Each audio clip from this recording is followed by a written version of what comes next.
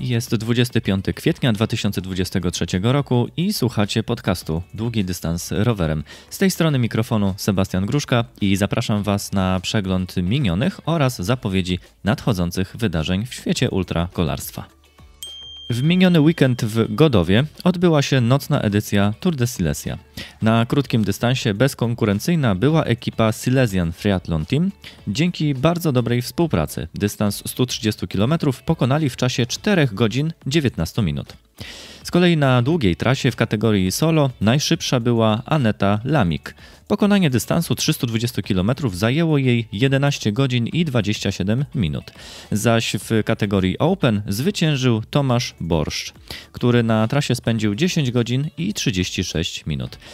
Trasa, e, pomimo niewielkiej ilości przewyższeń, była bardzo wymagająca dla uczestników.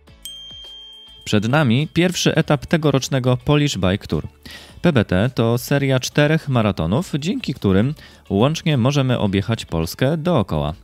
Pierwszym etapem jest Bałtyk 600 km ze startem w Szczecinie i metą w Gdańsku.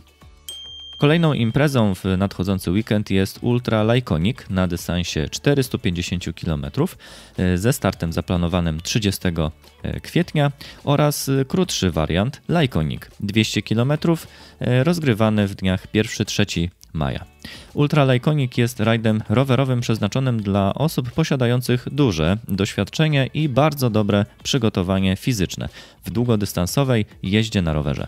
Dla mniej wprawionych zawodników przygotowano krótszą wersję pod nazwą Lajkonik.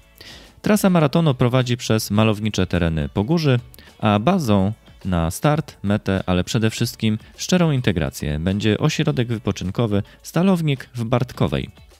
To miejsce jest malowniczo położone nad jeziorem Rożnowskim.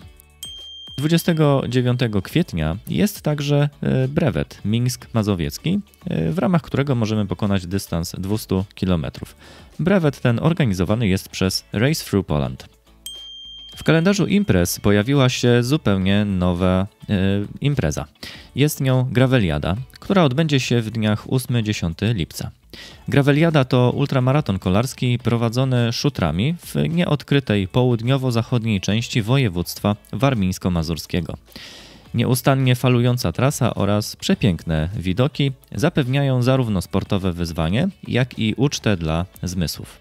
Do wyboru są dwie trasy. Dla wytrwałych dystans około 450 km, zaś dla początkujących zaledwie 160 km.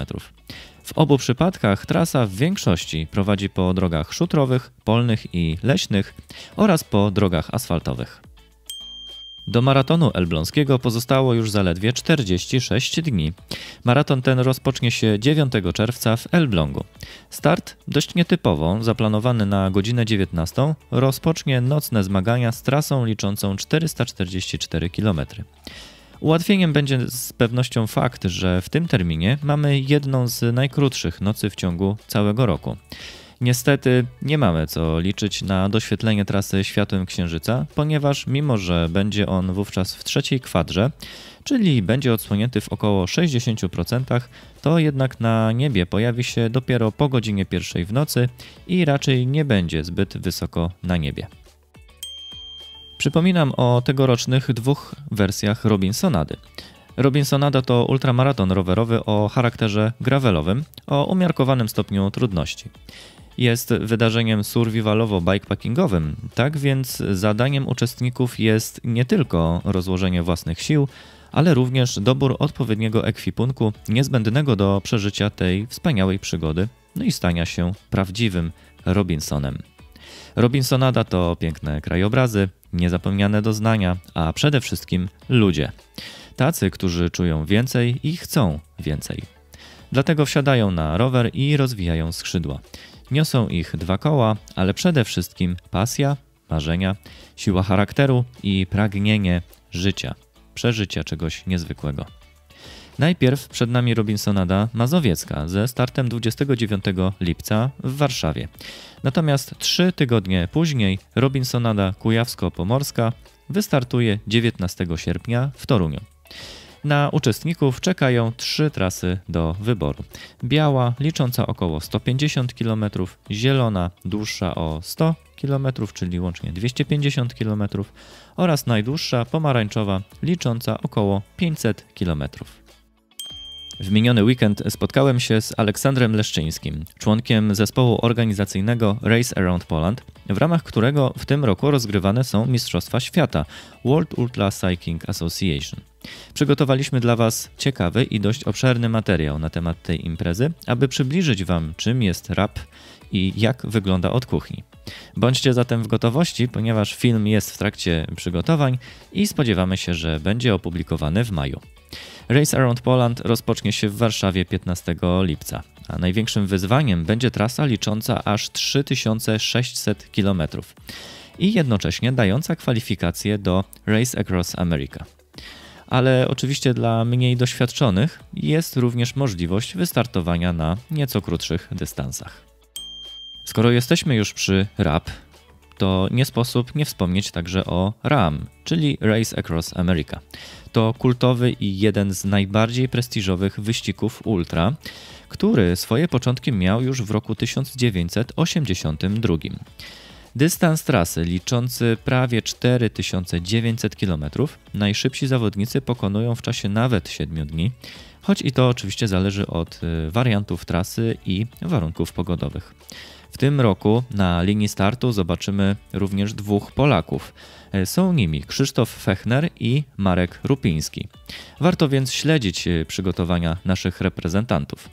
Przypomnę także, że pierwszym Polakiem, który stanął na linii startu RAM jest Remek Siudziński, którego obecnie możecie kojarzyć jako organizatora Race Around Poland. Do startu Race Across America pozostało 49 dni. Znamy już terminy wydarzeń Ultra na Wyspach Kanaryjskich. Grand Guanche konkretnie. Wersja Trail 3 grudnia 2023 roku. Wersja Road 24 stycznia 2024 roku oraz wersja Gravel 30 marca 2024 roku. Grand Guanche to ultramaraton prowadzony przez pięć wysp kanaryjskich w trzech wariantach, zależnie od rodzaju trasy i nawierzchni. Dzisiejszy odcinek kończymy smutną wiadomością.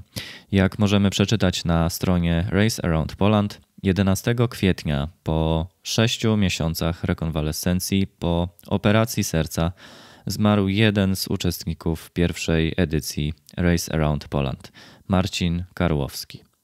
Około 30 km od domu, podczas przejażdżki rowerowej ze znajomymi, doznał ataku serca. Odszedł od nas, uprawiając sport, który kochał tak bardzo, że nie zrezygnował z niego nawet mimo zagrożeń. Najbliższej rodzinie i znajomym składamy najszczersze kondolencje. Pamięć Marcina uczcijmy w ciszy.